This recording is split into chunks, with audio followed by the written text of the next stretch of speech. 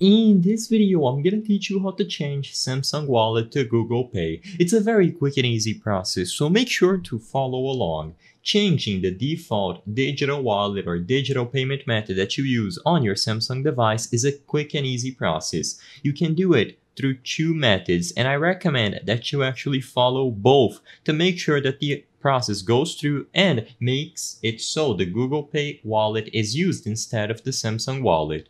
For the first one, all that you have to do is go into the settings, open up the applications category and from there tap the menu at the top right corner of the apps. Go into the default apps installed on your device. When you go over to default apps, you can see which applications are assigned as the default apps for specific categories. You have to go into the option to tap and pay.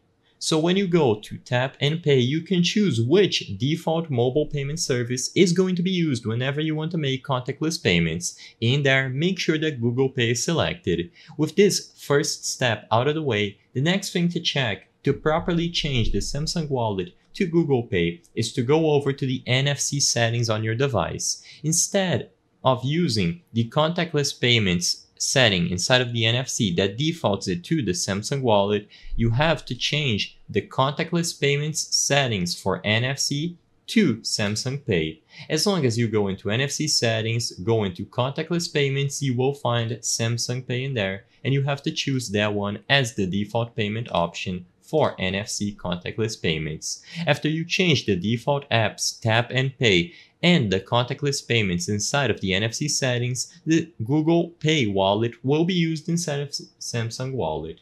I hope I was able to help you on how to change Samsung Wallet to Google Pay. If this video helped you, please be sure to leave a like and subscribe for more quick and easy tips. Thank you for watching.